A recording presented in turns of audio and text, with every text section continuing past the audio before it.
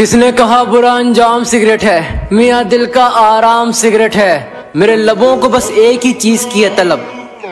और उसका नाम सिगरेट।